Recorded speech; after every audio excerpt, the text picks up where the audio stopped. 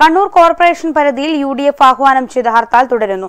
മേയർക്കെതിരെ നടന്ന കയ്യേറ്റത്തിൽ പ്രതിഷേധിച്ചാണ് ഹർത്താൽ. കടകമ്പോളങ്ങൾ അടഞ്ഞുകിടക്കുകയാണ്. വാഹനങ്ങളെ ഹർത്താലിൽ നിന്നും ഒഴിവാക്കിയിട്ടുണ്ട്. കൂടുതൽ വിശദാംശങ്ങളുമായി ജിതേഷ് ചേരുന്നു. ജിതേഷ് എന്തൊക്കെയാണ് വിശദാംശങ്ങൾ?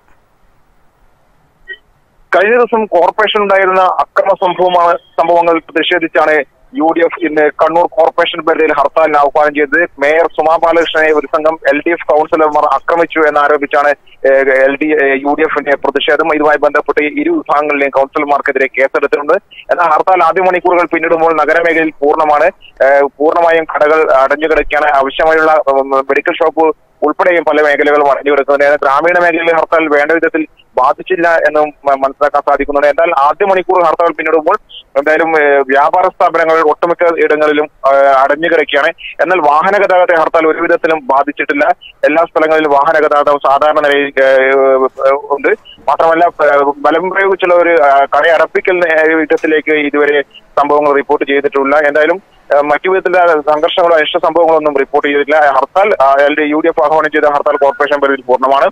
മാത്രമല്ല കഴിഞ്ഞ ദിവസം ആശുപത്രി പ്രവേശിപ്പിക്കപ്പെട്ട മേയർ സുമാ അല്പം ശാരീരിക അസ്വസ്ഥമുണ്ട് എന്ന് വിവരമുണ്ട്. മാത്രമല്ല അവരെ മെഡിക്കൽ സംഘം പരിശോധിക്കുന്നത് കാർഡിയോളജി വിഭാഗത്തിന്റെ ഡോക്ടർമാർ പരിശോധിക്കുന്നുണ്ട്. ഷുഗറും പ്രഷറും ഉൾപ്പെടെ ഉയർന്നതായും മനസ്സിലാക്കുന്നുണ്ട്.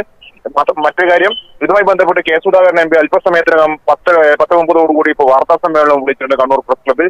എന്തായാലും യു ഡി എഫ് ആഹ്വാനം ചെയ്ത ഹർത്താൽ നഗരമേഖലയിൽ പൂർണമാണ് ഗ്രാമീണ മേഖലയിലും മേഖലകളിൽ ചിലയിടങ്ങളിൽ വ്യാപാര സ്ഥാപനങ്ങൾ തുറന്ന് പ്രവർത്തിച്ചിട്ടുണ്ട്.